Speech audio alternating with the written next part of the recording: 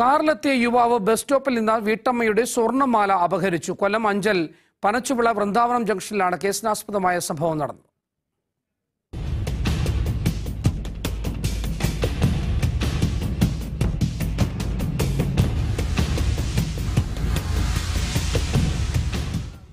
അഞ്ചൽ വൃന്ദാവനം മുക്ക് സ്വദേശിനി അജിതയുടെ രണ്ട് പവന്റെ സ്വർണമാലയാണ് കാറിലെത്തിയ യുവാവ് അപഹരിച്ചത്. വീട്ടമ്മയുടെ അടുത്ത് കാർ നിർത്തിയ യുവാവ് ഒരാളുടെ മേൽവിലാസം തിരക്കി.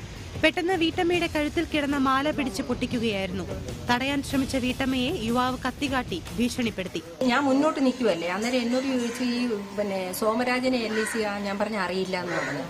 പറഞ്ഞു കഴിഞ്ഞപ്പോഴത്തേക്കാണ് വണ്ടി പെട്ടെന്ന് എടുത്ത് എന്റെ അടുത്തൂടെ വന്നിട്ടാണ് കഴുത്തിൽ കയറി മാല പിടിച്ച്. മാല പിടിച്ച് പൊട്ടിച്ച് എടുത്തപ്പോഴത്തേക്ക് ഞാൻ ഡോറിൽ കയറി പിടിച്ച്.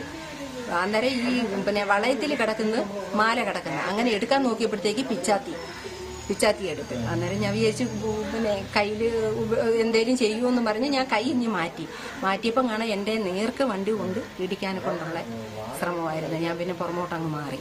മുപ്പത്തിരണ്ട് വയസ്സ് തോന്നിക്കുന്ന യുവാവാണ് മാല മോഷ്ടിച്ചതെന്നും ഇയാളുടെ വലതു കൈയുടെ പുറകുവശം പച്ച കളറിൽ ടാറ്റു ചെയ്തതുപോലെ അടയാളമുണ്ടെന്നും വീട്ടമ്മ പറഞ്ഞു.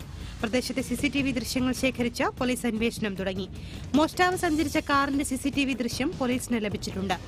അഞ്ചൽ മേഖലയിൽ കാൽനടക്കാരായ സ്ത്രീകളുടെയും ബസ് യാത്രക്കാരായ സ്ത്രീകളുടെയും സ്വർണാഭരണങ്ങളും പണവും മോഷ്ടിക്കുന്നത് പതിവായിട്ടുണ്ട്. അടുത്തിടെ അഞ്ചൽ പോലീസ് ഒരു സ്ത്രീ ഉൾപ്പെടെ മൂന്ന് പേരെ അറസ്റ്റ് ചെയ്തിരുന്നു. മനോരമ ന്യൂസ് അഞ്ചൽ.